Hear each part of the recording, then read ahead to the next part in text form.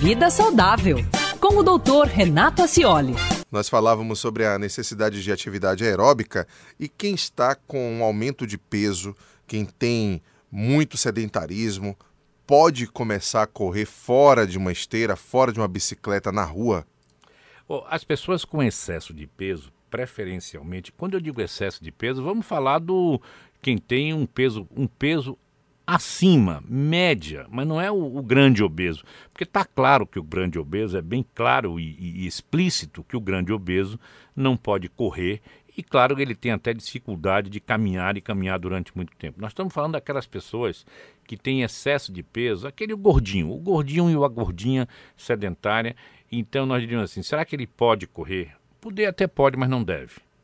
Não é pelo risco cardíaco sabe? É, não é aconselhável que as pessoas com excesso de peso corram, não é por risco cardíaco, a não ser que ele seja um hipertenso, não esteja controlado, então na realidade não deve correr. Mas o, o, sedentário com excesso de peso, ele não deve começar logo correndo, mesmo que ele se sinta em condições, para prevenir lesão ortopédica, principalmente lesão de joelho, de tornozelo, do quadril ou da coluna. Porque se o gordinho ou a gordinha eles começam muito animados, né? e até conseguem começar a correr, mas o excesso de peso pode fazer com que ele se lesione do joelho, da coluna, do quadril. E aí, se isso acontecer, ele fica prejudicado né? e ele deixa de correr, mas não deixa de comer. Né? Então, é importante que o planejamento do início da atividade aeróbica no gordinho seja muito bem feito.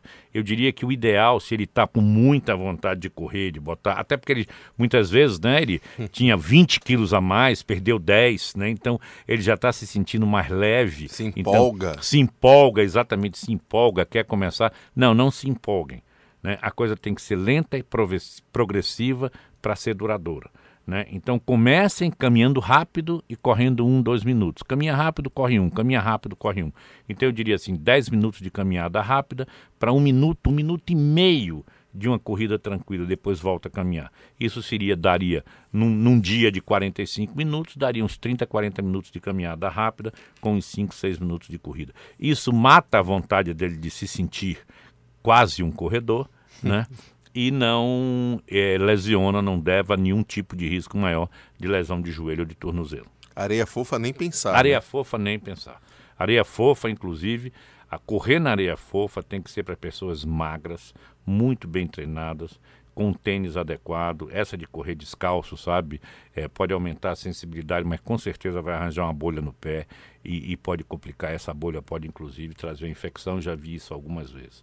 Né? Então, correr areia, areia fofa é realmente para quem está muito treinado e quem quer ter um consumo, um, um, um, uma aptidão maior, sabe? Mas eu não acho que seja recomendável. Obrigado, doutor Renato. Obrigado, Vida Saudável, com o doutor Renato Acioli.